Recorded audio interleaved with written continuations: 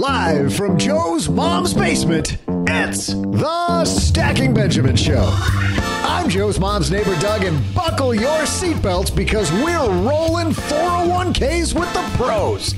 How does a rollover work? Why would you do one? Why wouldn't you? Either way, how should you invest the money? To help you know when to roll and when to hold, we welcome the woman behind Sensible Money, CFP Dana Anspach. And the woman who's way more comfortable with rollovers than she is with pop culture, afford anything's Paula Pant.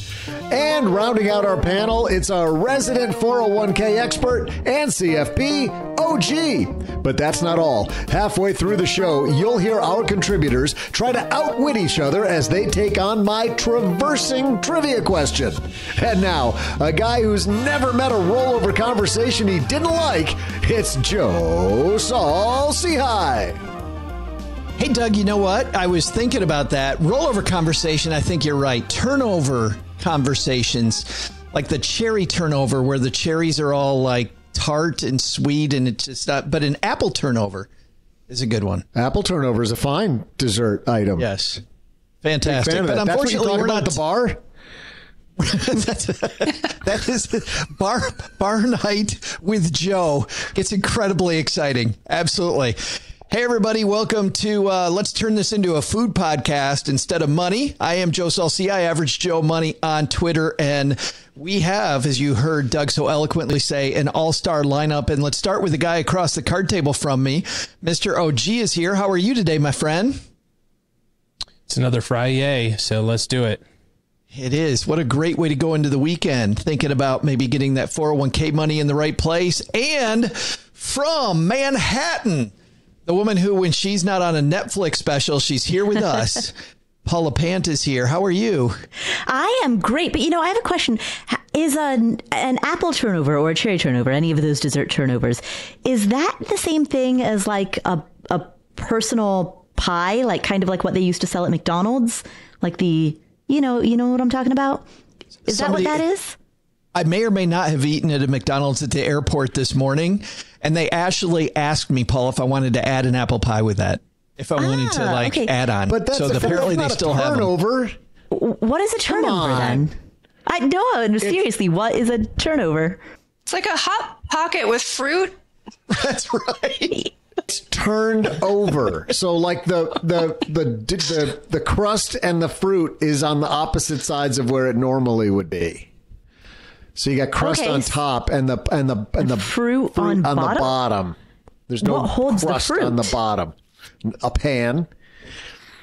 Huh? Got a little more. We, we'll draw a diagram a little further, Paula. We might have some other stuff we we need to talk about. I didn't think when we talk pop culture that would include that she doesn't even understand what a turnover is, and. And then when you can tell she describes all this stuff for a living because a hot pocket with fruit in it, I think, is a great way to go. She's walking her way through our podcast with people that aren't on YouTube with us. Uh, Dana Anspach's here. How are you? Well, I'm doing great. It's day one on my under the desk treadmill. So here I am at 0.6 miles per hour to talk about rollovers. I thought that you're. It always it looks like you're walking into the camera. Like any second, you're going to get like right up on top of it. That's right. I think you should So- speed it up a little bit, get a little bit more, you know. Let's see. What if I, uh, you know, let's see if I go 1.4, Oh, she's moving now. right? She's down. moving now.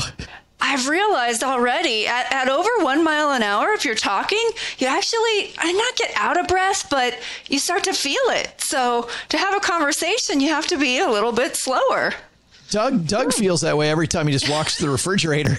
It's like exhausted. Got to sit down and take take a breather during take that time. breath At the stairs. Hey Dana, let's talk about let's talk about you right now because I saw that you're going to be joining uh, the Bogleheads conference here soon. I am in October in DC and super excited about it. What are you going to be speaking at the Bogleheads about? Really about retirement portfolios. So I still have to work through the presentation, but that's the general topic. But it'll be some of the stuff maybe that we're talking about today, huh? Could be. Could be. Well, we've got uh, Dana here. We're so happy she's here. We got Paula. We got OG. No. It, it does not Yeah, matter. and you know, You're here, just I, I got to jump in and I got to fall on a sword and admit something I rarely do. I was wrong.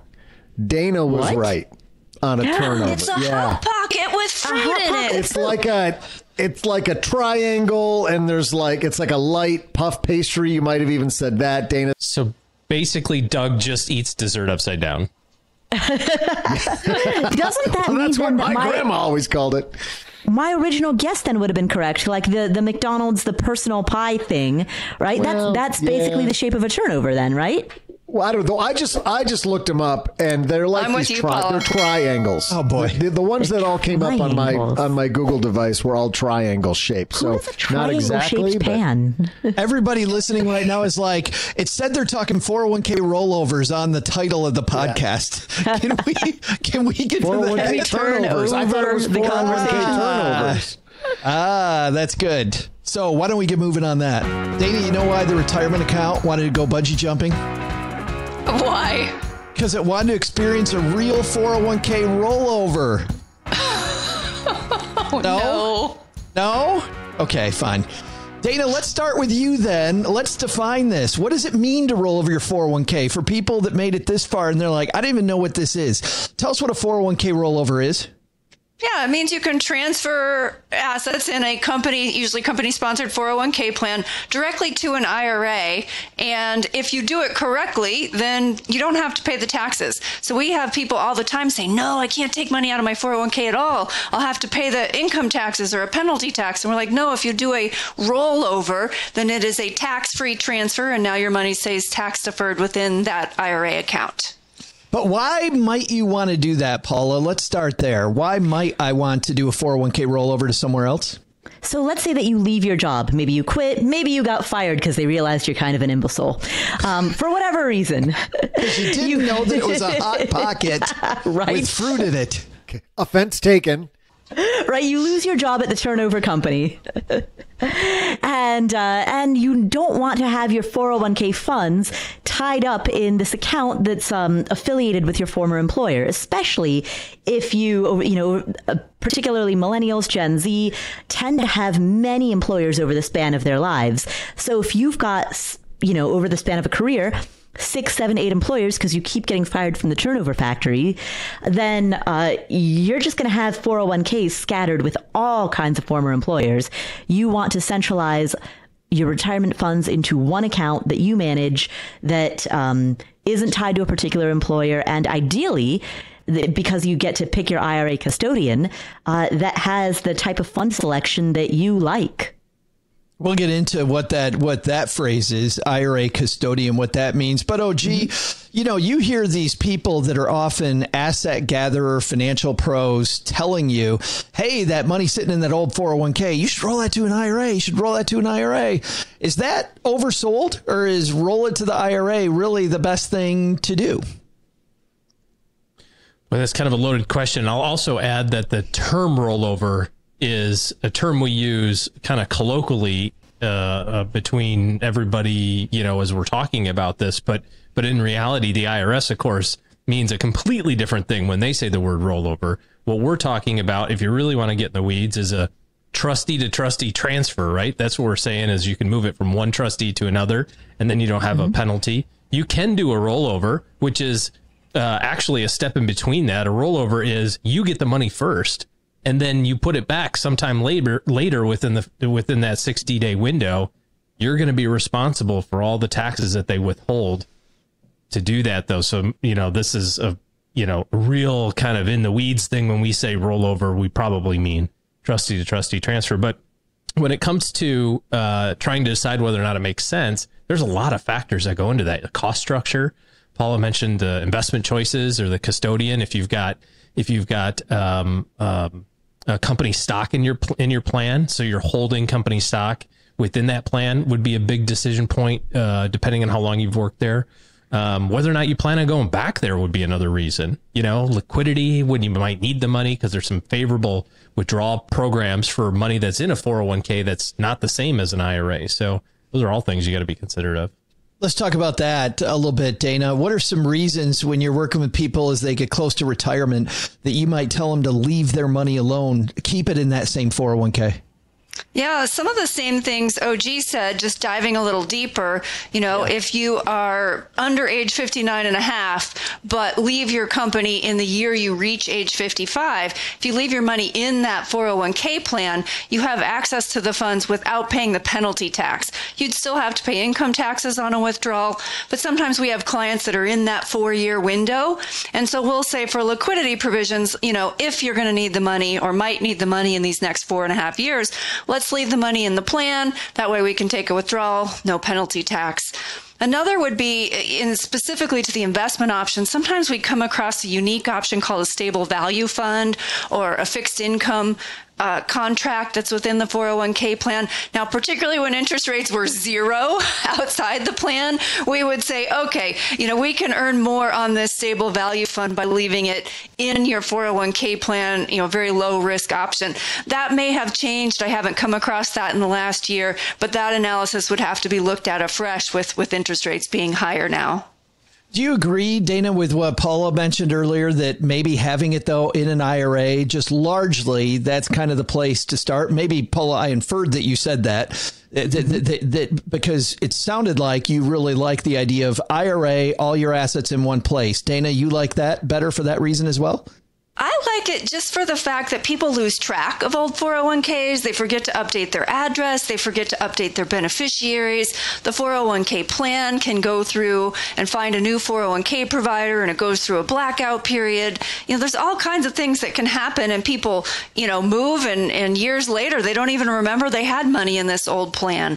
And and so yeah, I agree in general. I think it makes sense to consolidate and then you have to look for the particular situations where it doesn't make sense. Well, let's go to the other one of those then. You mentioned these stable value funds that were still paying five and six percent when money was paying paying nothing. Oh, gee, the other one that you mentioned though is if people have company stock in their plan. Talk about why you might want to leave that alone, or at the very least, not roll it to an IRA. Well, there's there's a couple of things that can happen with company stock in your 401k plan. You have a unique opportunity to have that taxed differently and there's lots of rules around it and and it's a very specialized uh, uh, calculation and depends on how long you've been there and that sort of stuff.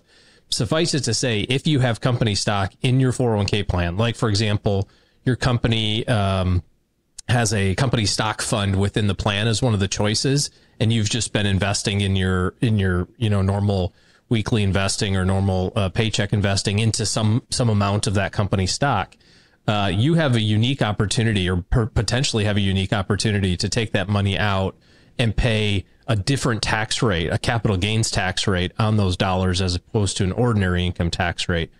But there's a lot of rules around it and and here are the highlights of it. If you have company stock, make sure you're aware of of of your options and you can't deal with this in the last quarter of the year.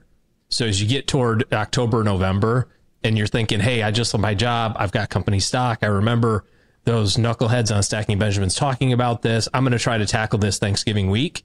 No chance. It's it's too involved, and you have an opportunity to screw it up because there's something that has to be done before December 31, or all bets are off. So this is best used to to think about at the beginning of the year. If you want to look it up, it's called NUA, Net Unrealized Appreciation.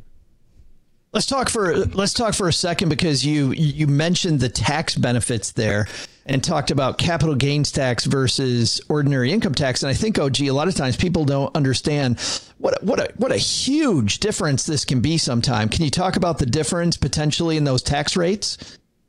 Well, it could be, right? I mean, cap- capital gains rates are as low as zero depending on what your income is, right? So so you could be taxed at $0 for the gain portion of that of that uh, of that stock, um, but probably 15, maybe 20, or maybe 23. But then you just kind of kind of compare that against what the uh, what your current tax rate is and whether or not you can afford to write the check because the government you know there's always a gimme and a gotcha to everything the the IRS is not really big fans of going here's all this great stuff they like to go here's this and we're going to smash you on the head with the hammer on this one. So you have to be able to to to evaluate the whole thing, but ultimately, are you saying down to whether or not?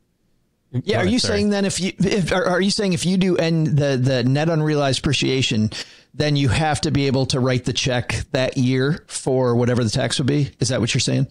Yeah, there's going to be some taxes due. I mean, now so now you could take, you know, you could sell some stock to pay it or something, you know, but there's there's going to be some some tax amount due, and it could be a little bit. It doesn't necessarily always have to be a lot, but it's something that you're going to want to uh, want to know what you're getting yourself into.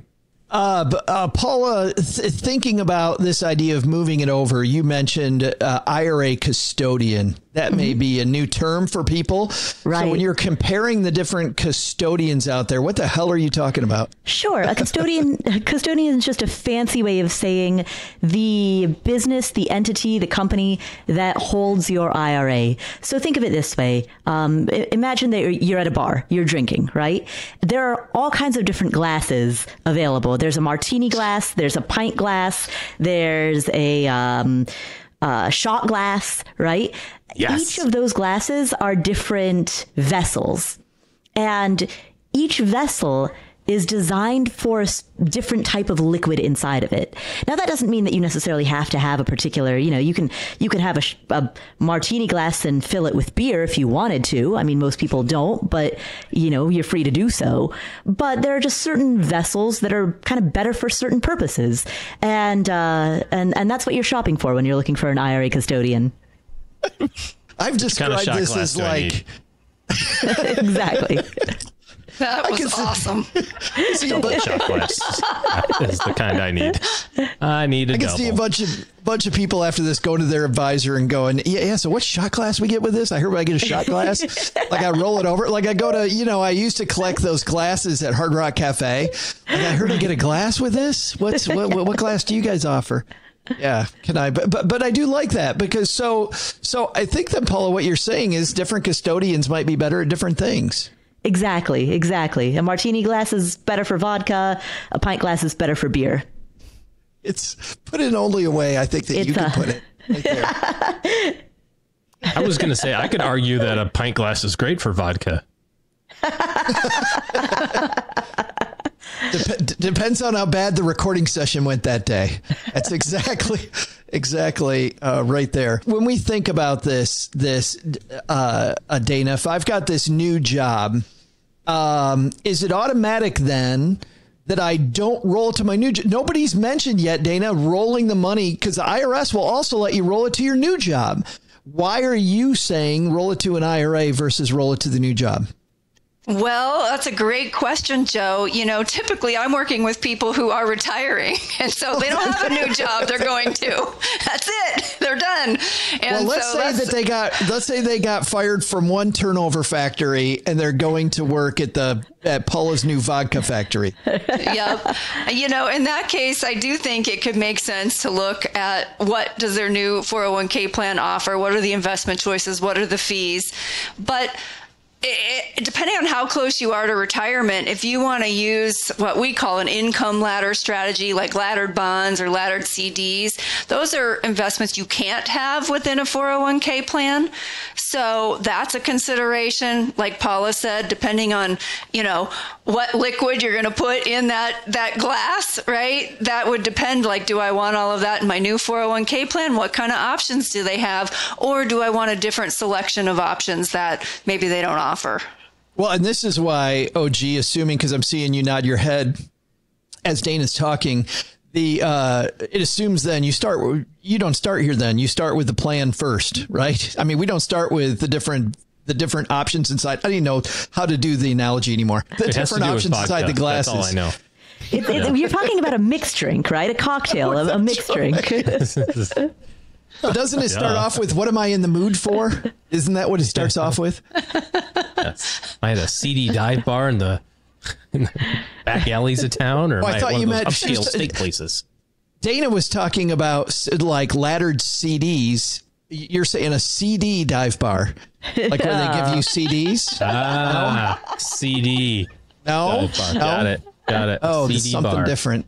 Yes, CD. I don't know. But anyway, OG, we begin. I'm completely lost.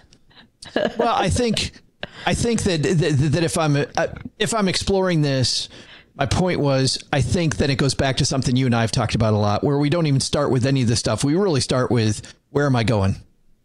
Yeah. Yeah. I think there's really a lot to be said for simplicity. Um, I think there's a lot to be said for organization.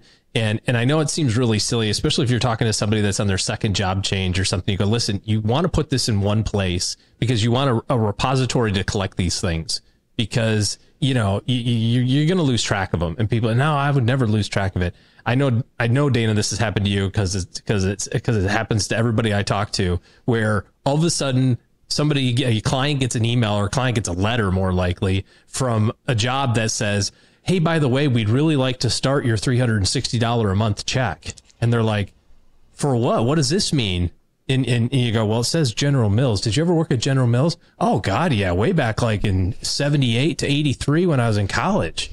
Like there you go. There's an example of we just forgot about this money that existed. Now, in that case, it, you know, or in some cases, it's like a pension or something like that. But nevertheless, it's hard to keep track of all those things if you go through all these different job changes and even career changes over your over your lifetime.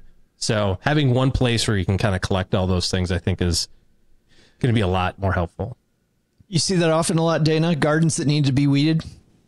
I see it occasionally. Wouldn't say often, but certainly I've been practicing since 1995. You know, every couple years we find someone who has what I call missing money, like money they didn't know they had. They get something in the mail. There's actually some great websites. I don't know if you can reference it in the show notes or if anyone knows them off the top of their head, like unclaimed funds websites now, where you can go put in your name.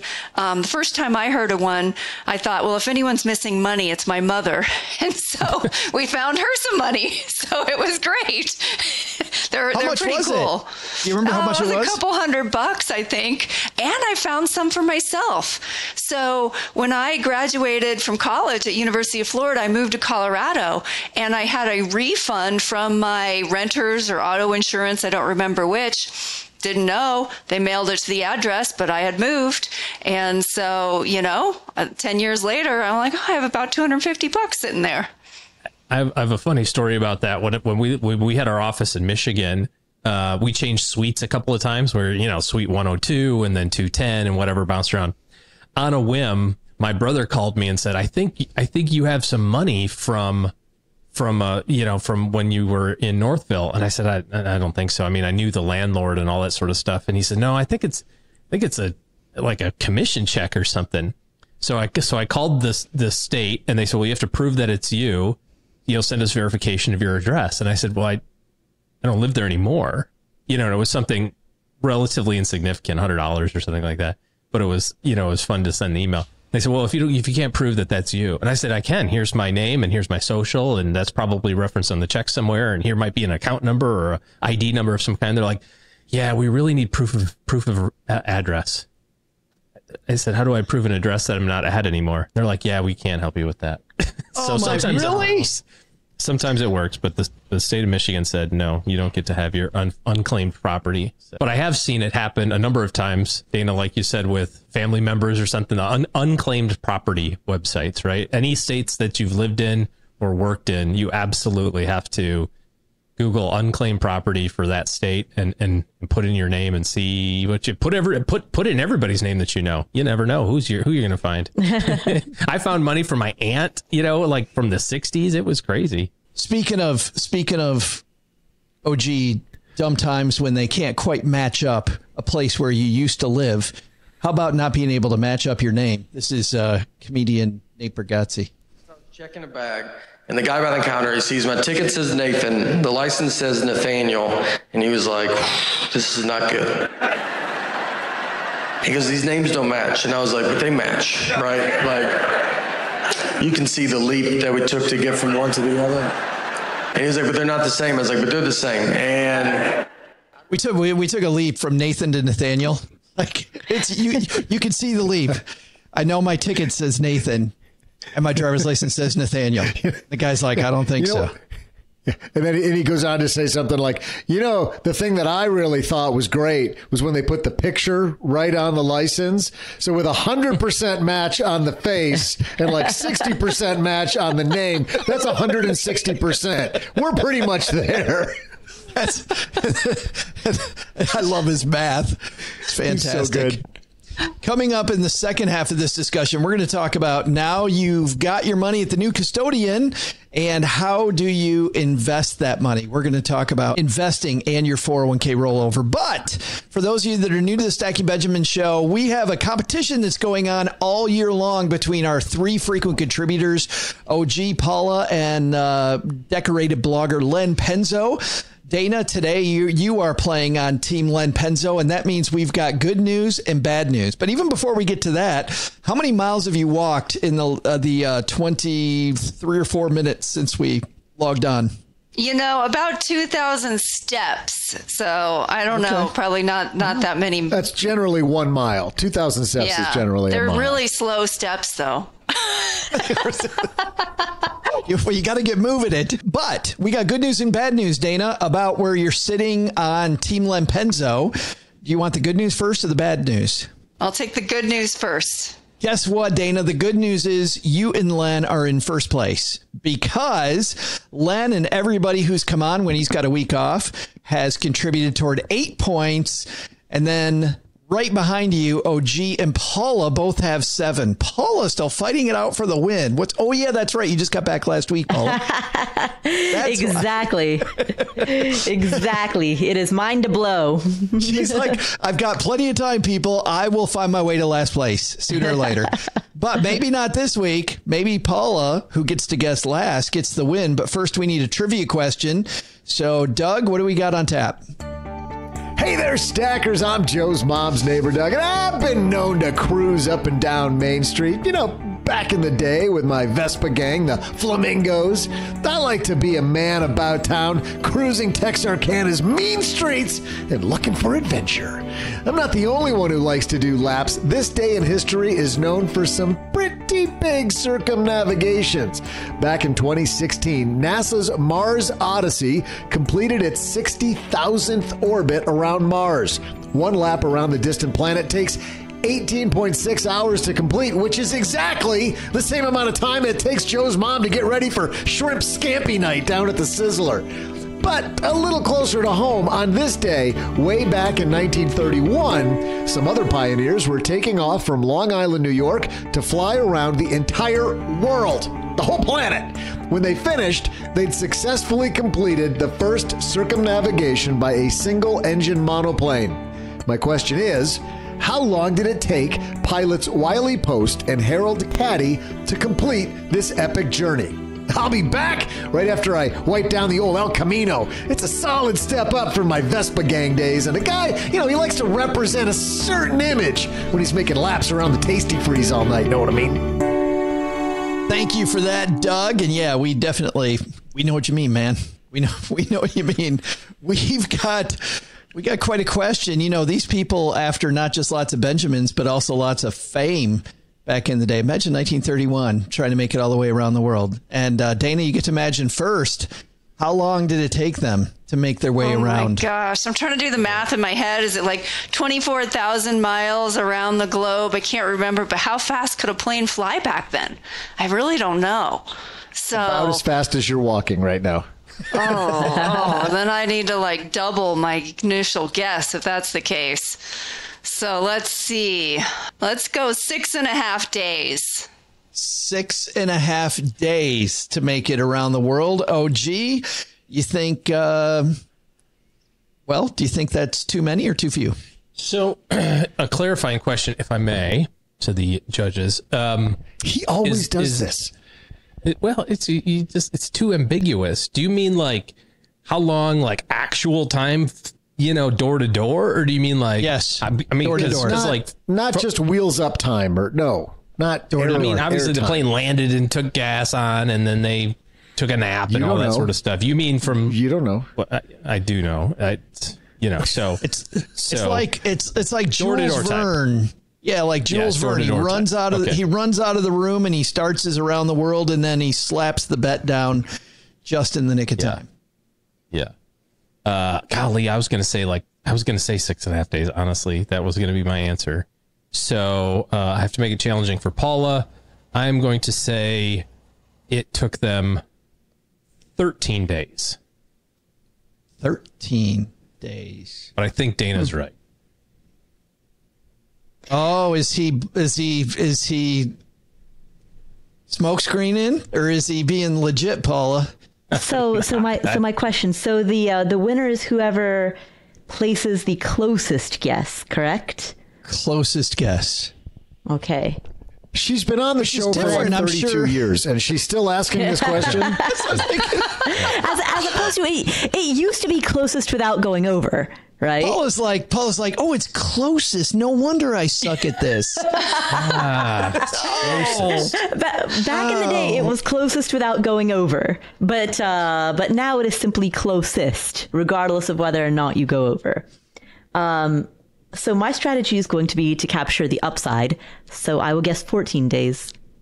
14 days. So she so you think that was a smokescreen that he Yeah. does that he does not think really that Dana's on it. on it. You know, I'm I'm thinking of the whole, you know, around the world in 80 days kind of a. I just I was I was uh, thinking it would be a longer period Wasn't of time. that so. a hot air balloon, though? It was a hot air balloon, yeah. Yeah, but still, It was it's the whole- everything. It was. uh, they were in all kinds of stuff, weren't they? On trains. I mean, they were in all kinds of crazy things. They're things. probably walking on a standing desk, treadmill. Stage, stage Yeah. coaches. Yeah, that's right. Standing desk. Day 78, they're like, oh crap, we're not going anywhere.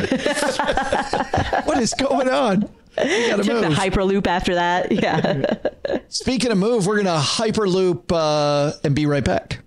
Dana, you kicked this off with six and a half days. Everybody else went significantly higher. How you feeling? I'm feeling okay. All right. She's like, I'm all right. I could stop walking, but you know, uh, OG, you got the well, not your knees capped. What you got? The, your head chopped off. I don't know what I'm- the analogy yeah. would be. Yeah. Paula took think- the I think- upside. what are you thinking? I know. I, I love Dana's answer. I honestly had quickly done the math in my head and was like six and a half, seven days. It's probably about right. And and I uh, I just had to put some space there. So I think I think There you go. this one. But Paula, if it is 80 days, you've got it. Yeah, you know, Or I mean, my strategy is basically just uh, just capture. Yeah, I I figure I've captured a wide berth, so Yes. you will see how that plays out. That strategy hasn't worked in five years. So, what's that definition of insanity? I'm just going to keep doing it. Right. But this could be the day. Who knows? Doug, well, one person knows. Doug knows. Doug, who's our winner? I absolutely do know, Joe. Hey there, stackers. I'm cruise captain and town trotter, Joe's mom's neighbor Doug. And my trivia question today is based on the historic flight of the Winnie Mae, a single engine monoplane that flew all the way around the world. While today's trivia question could have easily been which one of the pilots had the weaker bladder or who made the sweet mixtape for the journey, our trivia committee decided that the actual question should be how long did it take pilots Wiley Post and Harold Gatty to complete their journey? Well, Paula was off by six and a half days. OG was off by five and a half days. They were both over. Dana was under by two and a half days because the answer is that while the around the world in 80 days took, you know, like 80 days, we've covered that. Post and Gatty's trip took just over 10% of that time, or eight days, 15 hours, and 51 minutes. But they made 14 stops along the way, probably at Buc-ee's for some corn nuts, right? So that means Dana, really Len, is our big winner. Nice job, Dana. All right, but but did they have tapes in 1931? I, but that's who cares? They just brought the band with them. They just brought the band with them. Have have we ever let the truth get in the way of our trivia questions? Who knows? Well, maybe maybe except for the uh, the answer is always truthful, but the rest might be mythology. Or there was Buc-ee's. Have you been to a Buc-ee's, Dana? Never. I never heard of Buc-ee's. Paul, have you been to a Buc-ee's? I have. I have been to a Buc-ee's on a trip to Texas. Joe, I'll tell you, when we were on the book tour last year and we were in, I think it was Houston, we recorded in your hotel room. And when we got there, on your bed were a bunch of things from Buc-ee's. Some listener had brought you a bunch of stuff from Buc-ee's. Do you remember this? It was uh, Paul Lambert from the uh, uh, Lighter podcast. Yeah. Yeah. And you were on some one of your stupid health kicks. You're like, I can't eat the stuff. You guys take it, and I snatched it up as fast as I could. And one of the things I snatched changed our family's life, really our trajectory, because it was chocolate covered espresso beans, and holy sh- are those good! Unbelievable, and. I, I tried to like I, I I rationed myself. I didn't eat them all. They came home. They made it to the freezer. Well, the fin turn came back home for a weekend and inhaled them. We got in a big fight. I got you know I was really mad at him for eating all the Buc-ee's espresso beans. But ever since then, I've been buying him Buc-ee's espresso beans for birthdays and Christmases and all of that them stuff. on the So internet. It's now a Bootlegging them off for the us. internet. Oh That's yeah, good. You're welcome. it's a whole thing. You're welcome. Thanks, Paul Lambert. Yeah. Yeah, d- d- uh, Dana. Next time you're driving through Texas, you gotta make sure that you stop by a It's a restaurant. Is it like a convenience store? What is it? It's a gas station. Yes. It's a, way gas of life. station. Oh, okay. It's a- It's a gas is- station is- that has probably 150 gas pumps with an attached grocery store, the cleanest Mm-hmm. bathrooms you've ever seen on the road ever in your life, with fresh barbecue and t-shirts Mm-hmm. Rarely, and Yetis rarely and line at the checkout. And Rarely Wow. line at the checkout counter. It is it is a Texas sized gas station. Yes. wow. Uh, yeah. Think of a Walmart with a bunch of gas pumps out in front of it. But they're growing. I mean, they're not just Texas anymore. They're kind of getting in like the whole southeast. They're moving Yeah. over that way.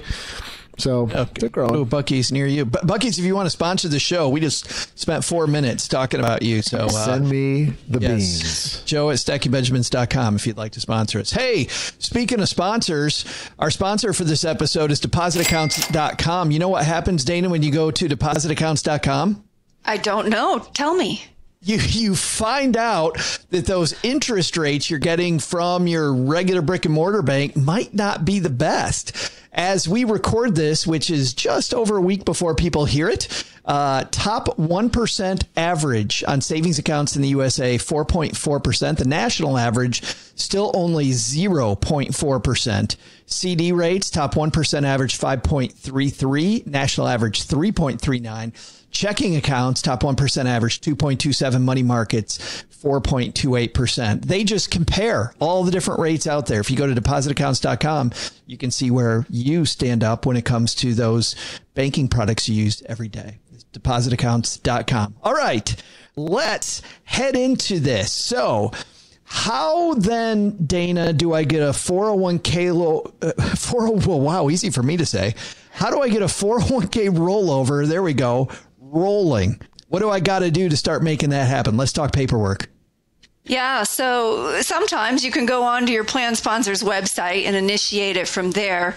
We usually like to do phone calls, so we will call, you know, with the client on the phone and talk to a representative. I'll give you an example. I sometimes I do web meetings. I did one with a retired CPA a few weeks ago. Her former employer had switched 401k plans. We went on the website and we processed it all, and then nothing happened for weeks. And so I would talk to the client, hey, you've got to call them, you've got to call and check them. And somehow it just got stuck in their system. So when you process it online, it went to someone for review, and then no one hit the button to release the funds. So, I mean, a phone call is great because you're talking to a live person. Of course, if that live person doesn't hit the button and, and, you know, make it happen, you can still get things that get stuck in the process. I haven't been a financial planner in a long time. Uh, Dana, for both you and OG, does that happen? Like, what percentage of the time does that happen? Because when I when I stopped, what 14 years ago now, it, it, was it was like 20 percent of the time that story, Dana, would happen. You know, I don't. I, I would say a lot less. You know, maybe five percent. Um, but there's all kinds of other things that can happen. You know, you've had we've had clients who have both Roth 401ks and regular, but the company you know messes up and sends the wrong check, so the client deposits them in the wrong account, and that has to get corrected. We've had checks from inherited IRAs that get you know, sent the wrong way or put in the wrong account. So there's all kinds of, you know, if I look at collectively all the mistakes that happen, yeah, 20%. Uh, uh, Paula, Dana and OG doing this with clients. Have you done this just by yourself? Just called them up and and made the an a 401k rollover happen? Yeah, you know, I, I did it. Uh, I had a friend who um, left his job at end of last year, around November or December. And he was like, what do I do? You know, I've never been through this before. And so we just sat down. I like looked over his shoulder as he logged into all of his accounts. And I was like, all right, press that button, press that button, press that. This is what that means. Um, so sometimes just having a friend who's knowledgeable about personal finance and who understands what you know like like trustee to trustee transfer um, you know knowing someone who understands or can interpret a little piece of jargon like that can be very helpful to somebody who is brand new and has never done any of this before did you just do it all online different than what yeah. dana said did you, you just, so you didn't talk to anybody yeah, yeah, we just executed everything online, partially through the website and then partially through sending emails to uh, the HR from his former company. And did it go smoothly? Yeah, everything went everything went.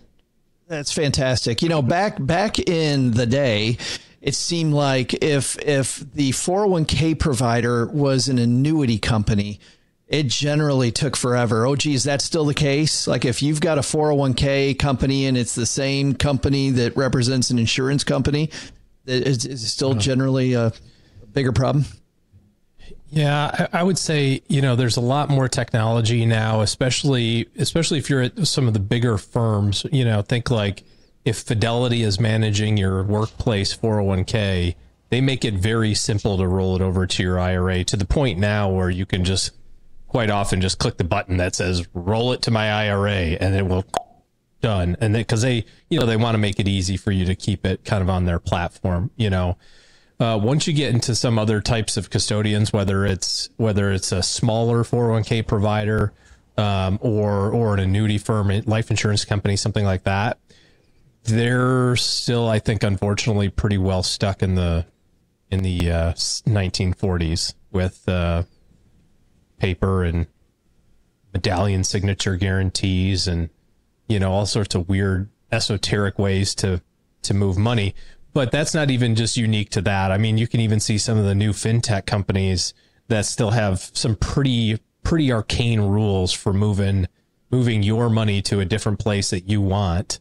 Um, in, instead of allowing it to be a simple, easy online process, because that's how they process it generally anyway. It's usually done online electronically anyway. But why they make you go through, you know, jump through hoops to get paperwork is is is beyond me it can be a, is that a little bit of, more challenging. Is that the kind of thing, Paula, that before you roll money over to an IRA, like you kind of look online and see, it, like how hard is it going to be to get my money out of here? Like I've never thought about that until OG's talking. I'm like, maybe I just do a mm-hmm. quick Google search ahead of time to see if this is going to be a pain in the ass getting my own money out later. Yeah, I mean, I, I don't know exactly what a person would Google. I mean, you could you can certainly Google the name of um, your custodian and kind of see if there's like a forum thread about it or something. But there are stories. so many different options out there, and um, and and yeah, to your point, Joe, horror stories. Uh, there's also going to be some sampling bias because the people who have a negative experience are most likely to post about it. So I'm not sure if that's going to be very effective. You know, Dana. Um, do you see though people make mistakes when they're rolling money over? I, you mentioned one that they might get the check, or OG mentioned it. Was somebody mentioned it earlier? They the check come to them. That's a mistake. Do you see people make other mistakes when they're trying to roll their money over? Well, let me back up for a second because a lot of the custodians, the 401k providers, will require the check go directly to the participant. Now, it can be made payable to the new custodian. So, for example, we custody at Charles Schwab, it might be payable to Charles Schwab for the benefit of, you know, if it was my rollover, for the benefit of Dana. But the check is often required to be mailed to the address of record. Ah. And so, you know, then when that check comes, the participant has, you know, 60 days to get it to their new custodian. Uh, there are occasions, but they're still rare, where they will mail the check directly to the new custodian. And I always recommend people pay the extra $25 if it's a substantial amount of money. You know, if it's a couple thousand dollars, you know, maybe you don't pay to have it overnighted. But I saw a half a million dollar 401k check get lost in the mail once, and we had to put a stop payment on it, have it reissued. The original check showed up like 90 days later. Oh, wow. By then, you know, we, we'd taken care of it. But, you know, it's just, it's worth the FedEx fee to say if it's a substantial amount of money, just pay to have it overnighted if it's coming to you or if it can get issued direct to the custodian. And then you, you need to be checking. The reason that we caught this one recently that just didn't show up is because every day we were checking the account for the funds. And finally, we you know we told the client, like, it should have shown up by now. You really need to get in touch with them. And it was just stuck in the system. No one had given it the green light. $25 just a small insurance policy, right? Mm. Just a tiny one. Oh, gee, you were nodding your head during that. You must have seen that before too. There's lots of lots of ways to to see this followed up. Uh, you know, Paula, you were talking about helping the friend at the end of the year, and I would say that that's probably the biggest one. Is make sure you give yourself enough time to get it done before something major else is going to happen, and and something major is a new tax year. You know, there's nothing wrong or illegal with having a rollover happen on December 30th, but the likelihood of it being muddled together with all of the other year end issues that have to happen with IRAs or contributions or conversions and you know the fact that everybody's working at 30% cuz everybody wants to be out of out of the office and on vacation. There's just there's so many ways for it to get messed up. And then you compound it with what if the checks in the mail over that year right and and you think about the you think about the uh, the the the technical aspect of that.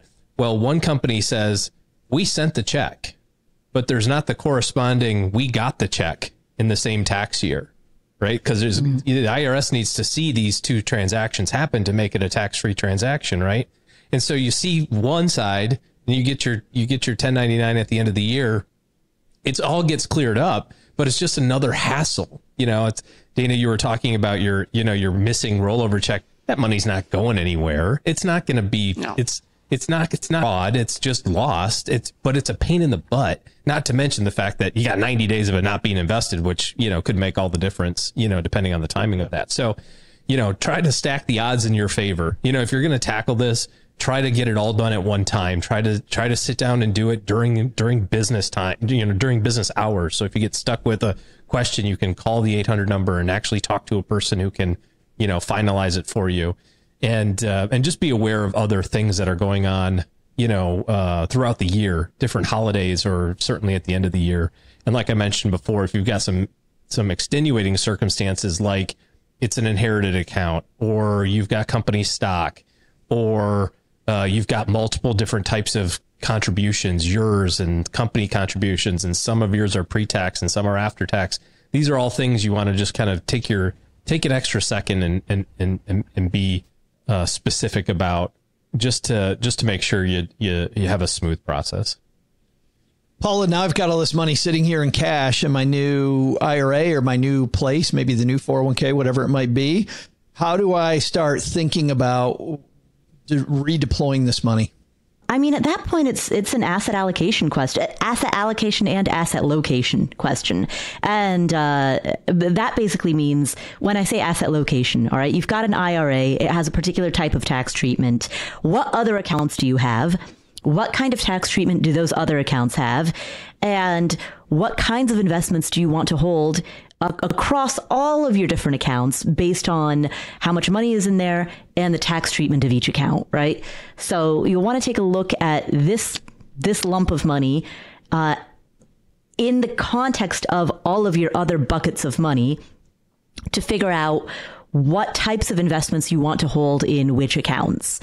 Um, And then as far as the that's the asset location piece. And then as far as asset allocation goes, which is just a fancy way of saying how do you want to mix the cocktail, right? You want a little you want like two shots of vodka, but you also want some And tell we're us- back. You can tell us Friday for Paula.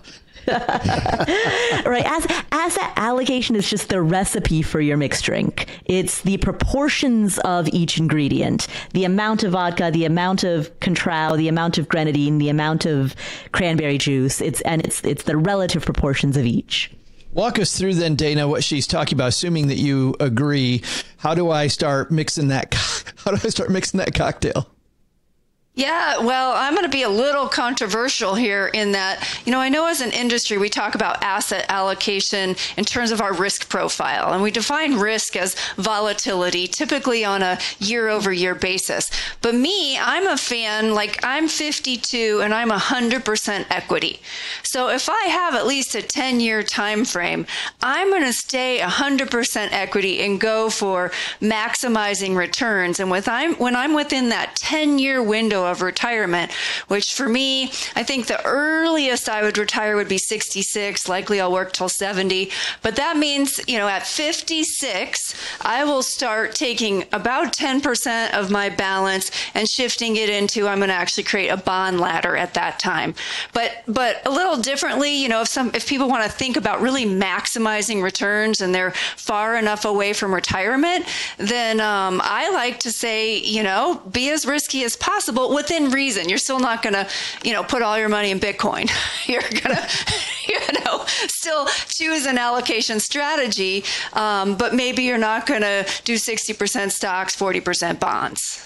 But that's all based on when you're going to take the money out. I mean, based on it everything is all said. based on time frame, which is a little different way of looking at it than traditionally our industry will have you fill out a risk tolerance questionnaire. And, I hate that you know, too. Drives it's me crazy. designed to be a CYA for us, and you know, to me, that's not always in the best interest of the person, depending on their investment experience and their education level and their time frame. There's all kinds of other factors than filling out a risk tolerance questionnaire. Well, my problem with the risk tolerance questionnaire is is when it gets presented to people. People start off with the risk tolerance. My first question is what type of risk do you need to take? Like is there a type of risk that you have to take? If I and then the question is can I accept that risk?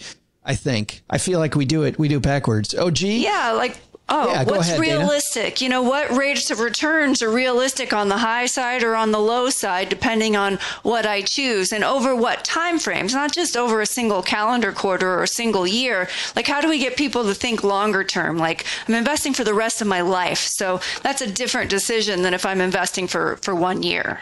But even over those short terms, I used to like showing people the weather report about we can expect we can expect this bumpy ride. Like this is what the bumps are going to look like. Do you think this is going to send you, you know, this is going to send you uh, on one of Paula's cocktail parties? Uh, are you going to have a have a tough time with that or not? Like that's when I want to get into risk. Like, can you accept the risk of 100% equities? Because uh, you know, OG is singing off that song sheet too, man. You're, I mean, you're all about equities, but how do you start walking people through? OG, what the right investments are to use inside of that for or that rollover. Well, I think I, I, I'm thinking about this from where we see people make mistakes, and where I think people would make mistakes on it would be to say, "Oh, shouldn't I dollar cost average in?" You know, I've got this big bucket of cash. Mm. Shouldn't I dollar cost average in? And the answer is absolutely no. This was invested five days ago. It needs to be fully invested by nightfall, just Wait a like minute, you that were. was going to be. Yeah, that was going to be my actually my next question was exactly that. And hold on, because I'm going to come right back to you. But I see both Dana and Paula nodding your head. You guys both agree with the fact don't dollar cost average back in, get it, jump in. But Paula, mm-hmm. Absolutely. So if you think about it, by virtue of dollar cost averaging back in, you are going to be disproportionately weighted to cash for way too long. Right? Um, because you're going to be having, you're just going to have cash sitting on the sidelines until you get that money in. Dollar cost averaging makes sense when you're talking about paychecks because necessarily you can't invest money that you haven't earned yet. So necessarily, you know, I can't invest my paycheck that I will earn six months from now until six months from now.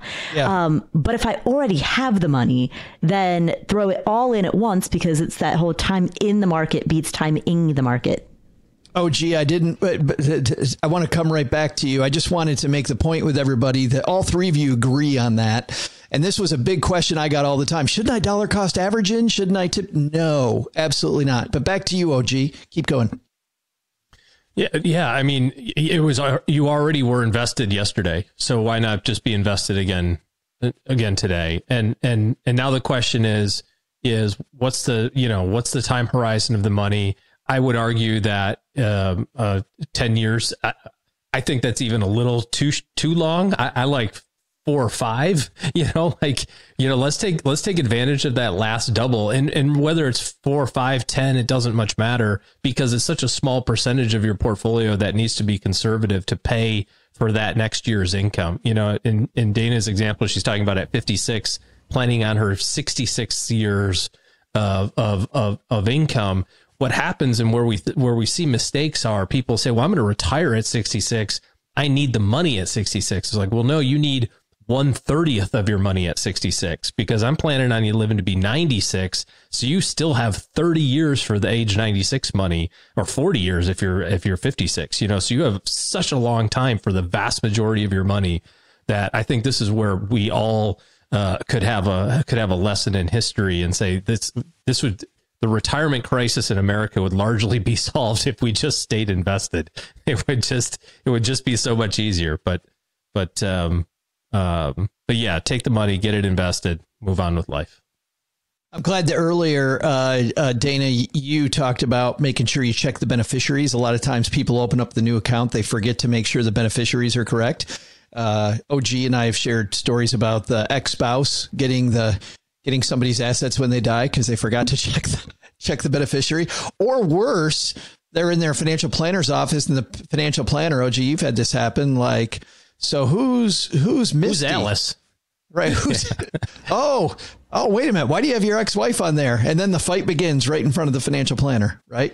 Uh, not a not a great idea. I want to ask you guys: Is there an investment type that is a red flag for you inside of an, an uh, a rollover that people should go? Uh, maybe I need to be a little skeptical about this.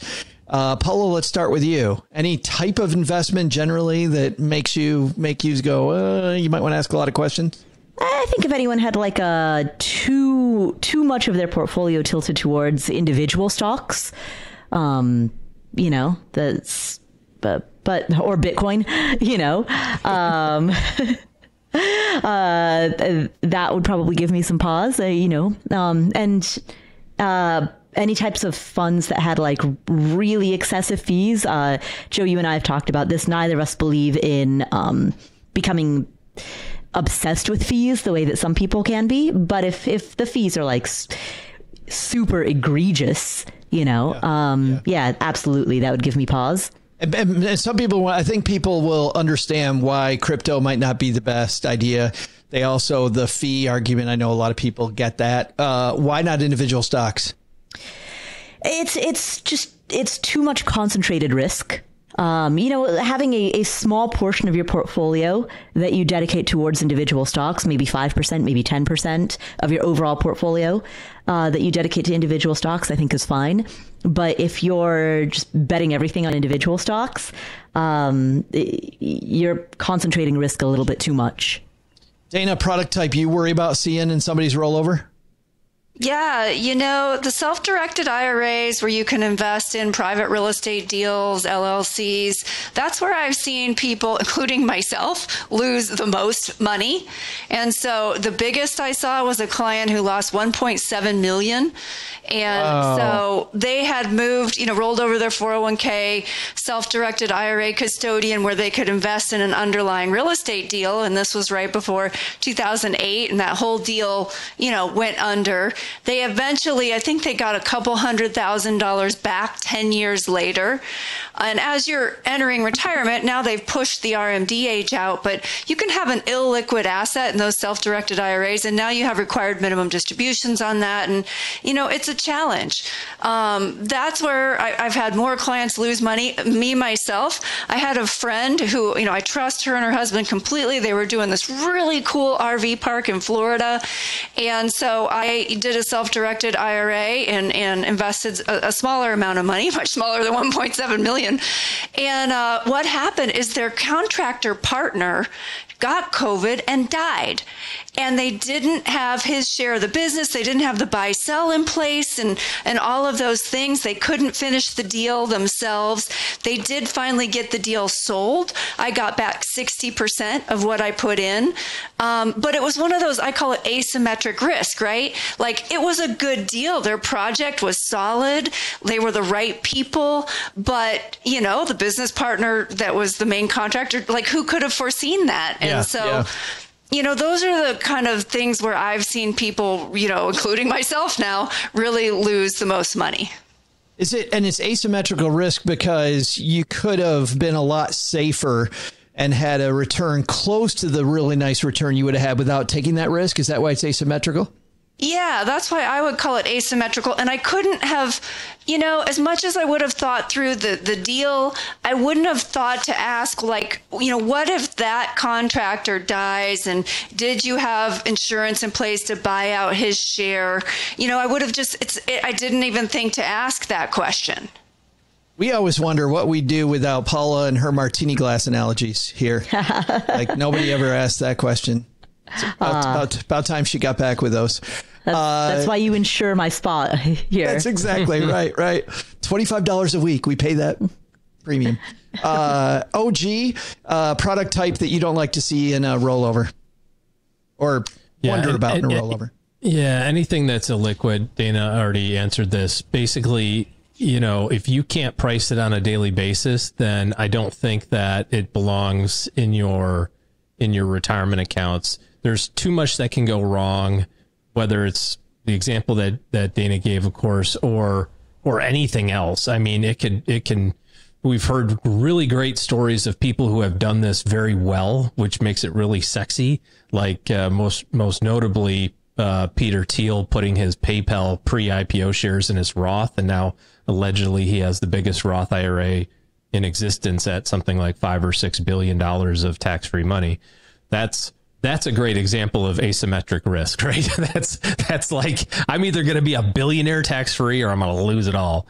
But but um, but we don't hear about all the 99.999% of the time where that sometimes or that eventually that eventually blows up. So anything that's a liquid anything uh, paula said is high you know high cost double taxation benefits are really silly. Like why would you have an annuity inside of an ira um, there's some some very specific reasons for maybe doing that, but but on on par, that's that's you know you're getting tax deferral and then you're paying for tax deferral, which just you know is kind of silly. But um, keep it simple. You know the easiest stuff is the simplest stuff.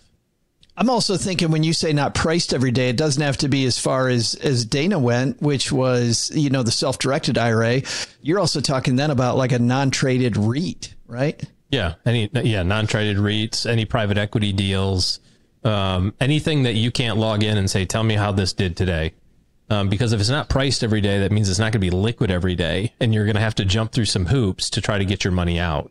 And um, and the worst thing that can happen is to have that valued on Jan- on December 31 at X dollars. Now you have to withdraw, like Dana said, on the on your required distributions based on that value, but that but that's just a made up number, and so that's not the real number. And now the actual value is lower than that, and you're starting to withdraw from a from you know from that. It's just no thanks. I want to be able to buy and sell as I please, and and there's plenty of diversification and plenty of upside potential, frankly, uh, with publicly traded uh, securities. Guys, thanks a ton for uh, helping all our stackers with with this. This is an area that a lot of people have written us about, so I hope we helped a, a lot of people today. Let's find out what's going on where you guys are. We'll have our guest of honor go last. Uh, OG, what do you got happening Golf. this weekend? Go, of course, yeah, okay, done, done. And, and Doug and I both shaking our head like, what the? Yeah, it's the same answer. I might even time. golf with Doug, as a matter of fact, this next Oh. weekend. Well, there you go. You get to watch him, Doug, throw. Did he throw? Did he throw a club in a pond or something? I can neither That's confirm nor deny, but it definitely That's wasn't a pond. right. It might have been Can't confirm that, but it wasn't a pond. Yeah, might have been a lake.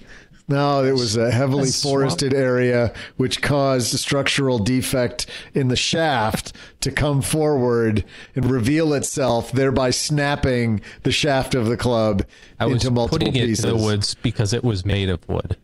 It, there was there's absolutely no natural materials involved Science. in that it's whatsoever. science, Doug. He's, he's saying it's science. Yes. Uh, Paula, what's happening on the Afford Anything podcast? So, on the Afford Anything podcast, we have a Stanford economist named Nick Bloom who is talking about work from home. Uh, he actually has been studying remote work since before 9 11. Um, he's been studying it for t- over 20, almost 30 years, back when it used to be referred to as telecommuting. So, while it is a new topic in the minds of many. It is for him an uh, you know a decades old topic. So he has the the benefit of historical insight in how um, the the ramifications of work from home uh, in terms of your productivity, creativity, collaboration, how all of that um, plays out. That's interesting. So I'm sure anybody that owns office real estate wants to listen to that show to see Exactly. where the, where the future may lie there. Dana, thanks for hanging out with us again. How far did you walk this episode? You know, I am, I think, at a total of about 5,000 steps. You're welcome. Yeah, that's all I have to say is you're welcome. Yeah.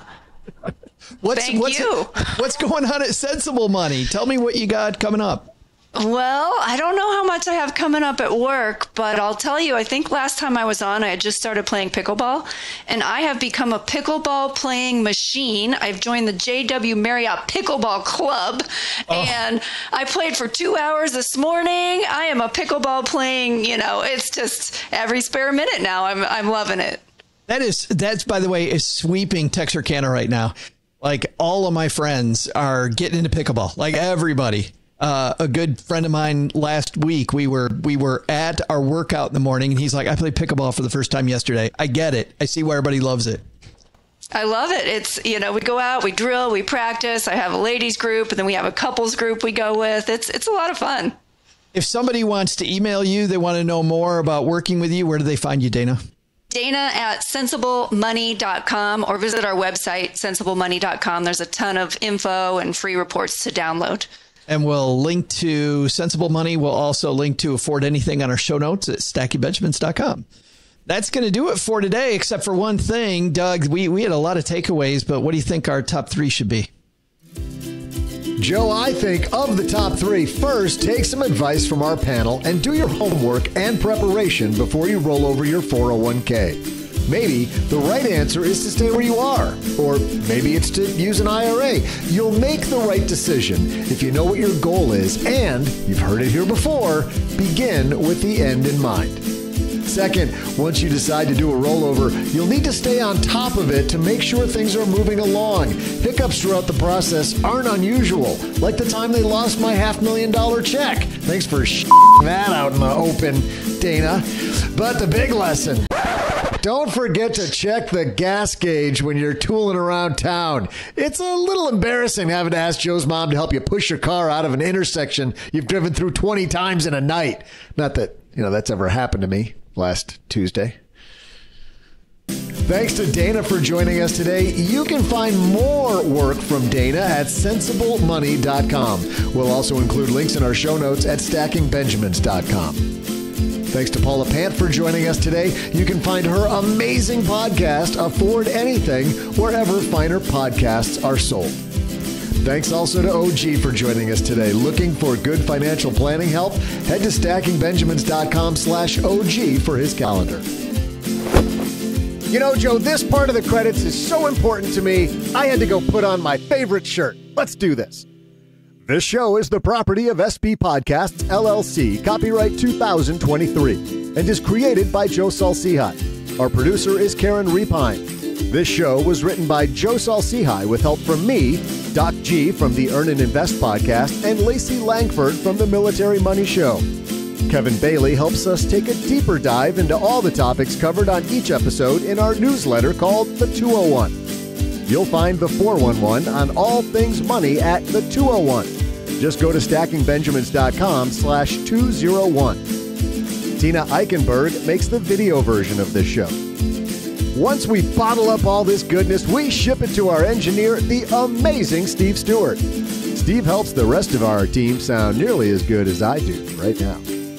Want to chat with friends about the show later? Mom's friend Gertrude and Kate Yunkin are our social media coordinators, and Gertrude is the room mother in our Facebook group called The Basement. So say hello when you see us posting online. To join all the basement fun with other stackers, type stackingbenjamins.com slash basement. Not only should you not take advice from these nerds, don't take advice from people you don't know. This show is for entertainment purposes only. Before making any financial decisions, speak with a real financial advisor. I'm Joe's mom's neighbor Doug, and we'll see you next time back here at the Stacking Benjamin Show.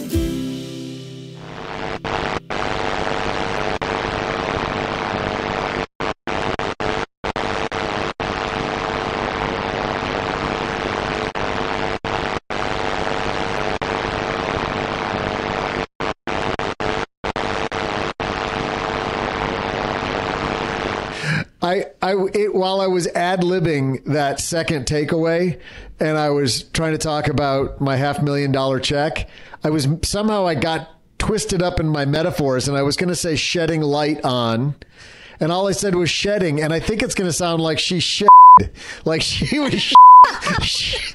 that story. I'm like, oh god, I can't undo it. I can't fix it now. I'm just gonna keep going. So if Steve ends up bleeping out that word, I will not blame him or you. That's good, Steve. Do it. Just, we did an episode a few years ago where we just bleeped out random words for fun. Bleep random words. It's awesome. and, that, and that was hilarious. Could you still it. understand it? We could, but it sounded. We would bleep out a word where we said something that was no big deal, and it made the whole show sound dirty. it, was, it was pretty pretty fun.